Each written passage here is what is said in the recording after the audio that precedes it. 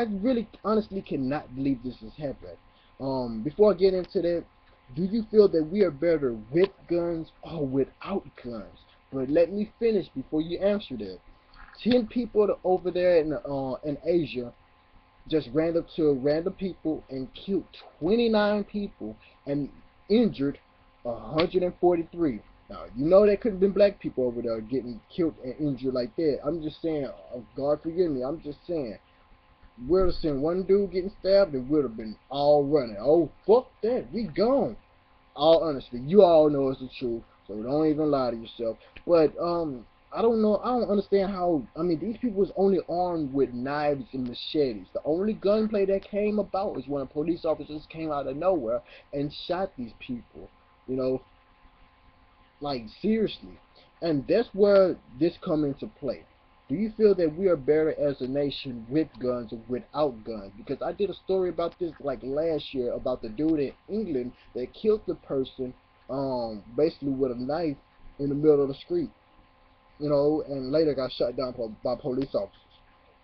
Now, do you believe that if they had the rights that we have to bear arms over there in England and in Asia, do you believe the same shit would be going on, or they'll be a lot worse?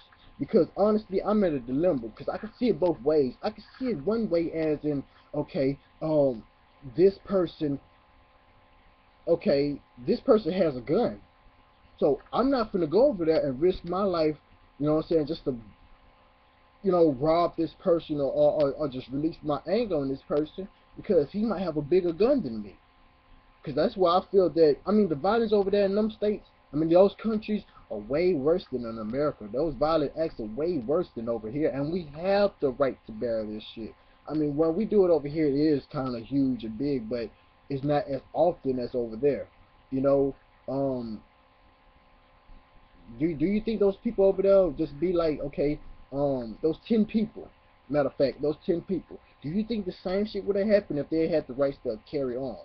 So if they would have came over there, ten people just shooting up everybody, do you believe that shit would have would have been ten times worse than that, or do you believe that those people would have been like, okay, um, I I, I want to do this, but um, those people all of them look like they carry guns, so I don't want to lose my life.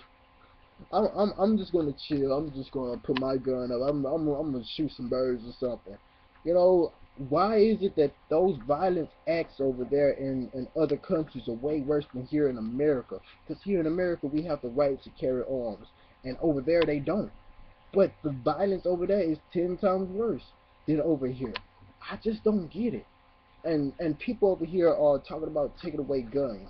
I can see what they're talking about ever since the Sandy Hook uh, incident. I can see what they're talking about because, you know, people are crazy. Even though guns don't kill people, people kill people, people can break at any given time. But in all honesty, I would rather have a gun to protect myself than to be defenseless when somebody snaps. You know, because I'd rather sit there. I, I, you know, if you get what I'm saying. I mean, I'm I'm done taking up your time. The article will be in the description there below. Y'all, let me know what y'all think in the description, in the comments area below. Let me know all that. More videos coming soon. With that being said and done, this is your boy Gamer Shannon 4260 signing out. Peace, ham hocks, and um, what's the other word? Yeah, chicken grease. And that giveaway is ending soon, so you might want to be in that.